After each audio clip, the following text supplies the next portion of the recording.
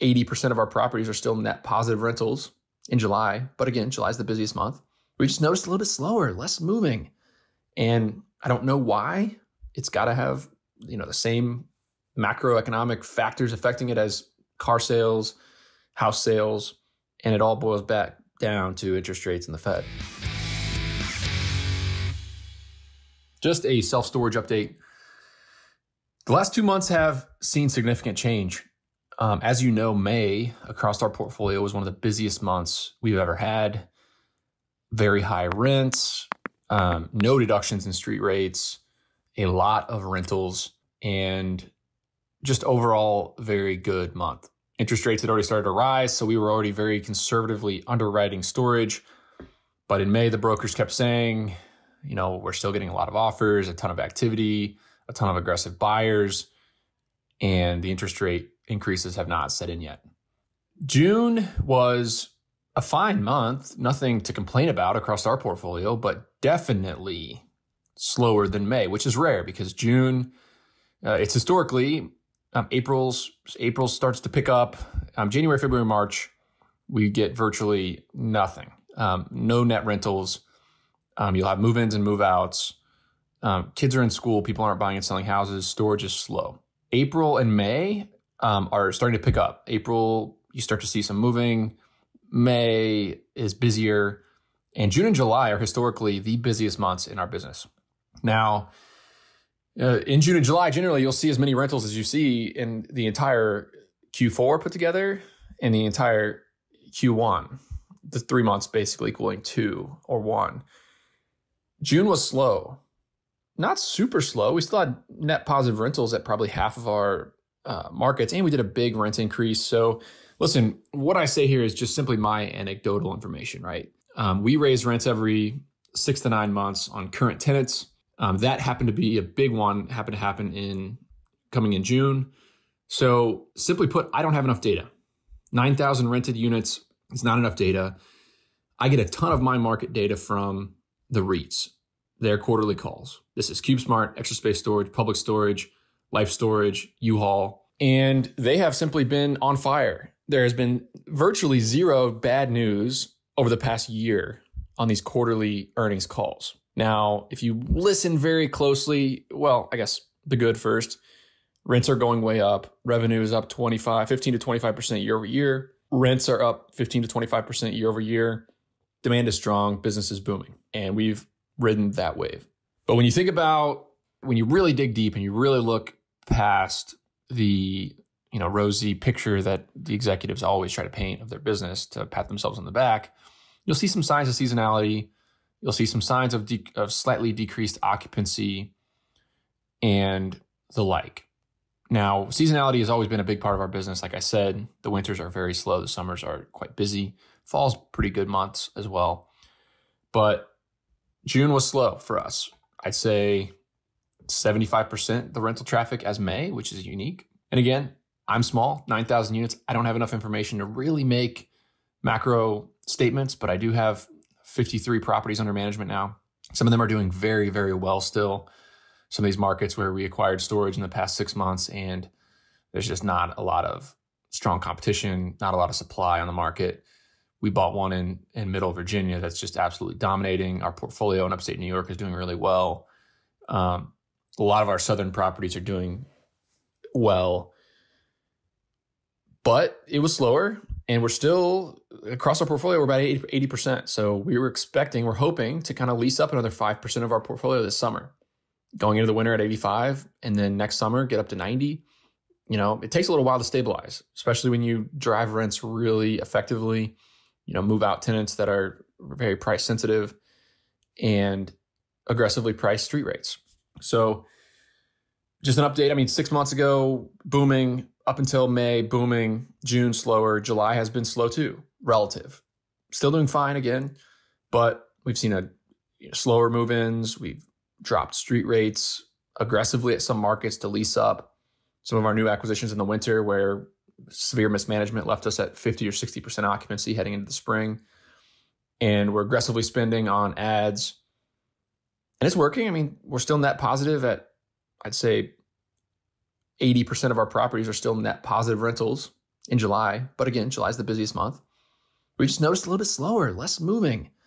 And I don't know why. It's got to have, you know, the same macroeconomic factors affecting it as car sales, house sales, um, secondary goods sales, and it all boils back down to interest rates and the Fed.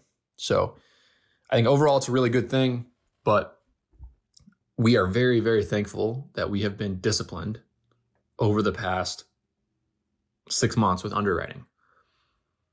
Again, of the last 200 deals we've underwritten and put offers on, somebody else has paid more than us on 198 of them. We've gotten two of the last 100 deals. It's been very, very frustrating for our team, harder than ever to find deals that pencil. And it's because we're underwriting realistic rent growth, normal move ins, high interest rates. While I think some of the competitors are getting settled in and confident of the last 18 months of storage that that's just going to continue forever. So we're really thankful that we've been disciplined. We've lost a lot of deals, but I think the tides are turning. It just, it just feels different. So if I had to guess how the REITs are going to, you know, release data on Q2, I think I got to look at it really close. I mean, May is part of Q2. That was extremely busy month. April, May, June. April was very busy. May was very busy. June, we started to see a slowdown. So you're gonna have to read really closely to see the real economic trends, and I don't think they'll really come through. I think it'll be a good quarter for the REITs. Again, just a, a small guy making a guess, but I think Q3 will see some pain. I think Q3 will show downs, will show signs that street rates are dipping, that leasing is getting a little bit tougher, a lot of new supply coming on the market in big cities, not really where we operate, but in big cities. And overall, I think it'll be a down month. Now, what are we hearing from the brokers and what are we seeing in the market? We're finally seeing a bit of relaxation. We got a property under contract last week. And talking to some of the more active brokers in our space, one of our one of our favorites out of Florida, big shop, they've seen they've traded six or they've listed six massive portfolios in the past 2 months. Massive. We're talking when I say massive, I mean $50 million plus. Four of those six deals have retraded, meaning the, the buyer who had it under contract just went back and said, I can no longer close at this price. Two of them met in the middle and the sellers wanted to sell. And two of them went to backup offers at, you know, who knows, lower or higher prices. Um, we did a soft, soft, you know, look at one, with one of our facilities at the market just to feel it out and see if it makes sense to sell a portfolio of about eight or 10 of our properties and the market did not meet anywhere near what it would take for us to look at it. Whereas I think six months ago it would have sold for our asking price. So where does that put us? I think in a really good position to buy some storage over the next six months. I hope. I really hope. I think a lot of these operators are going to see the market softening. They're going to get a little bit scared. They're going to start underwriting some of these rent increases. I think on the July 20, late July Fed meeting, they're going to, we're going to see another. I don't think we're going to see 25 basis points. I think we're going to see 50 or 75 because the Fed doesn't care about us. I mean, I know the market is pricing in different. You look at five year treasury, eh, the last month has been a decrease actually in interest rates. And that means the market is thinking that the Fed is going to back off. They might be right. They're a lot smarter than I am. But my estimate is that it's going to keep popping. And again, it's my job to protect the downside among my investors and my team. So uh, this is just a stream of consciousness thought on the state of the market, guys. If you have any comments for me, I'd love to see an email, nick at sweatystartup.com. And we're still growing and we're still acquiring and we are still hiring. If you want to get a job at Bolt Storage um, or just put your name in the hat for my attorney is hiring, my CPA is hiring, a couple other people in my network are hiring. If you want to put your name in the hat, go on sweatystartup.com slash apply, drop your resume, record a little one minute video about yourself and get in our system so we can reach out. But it's gonna be an interesting time. I like where we're positioned.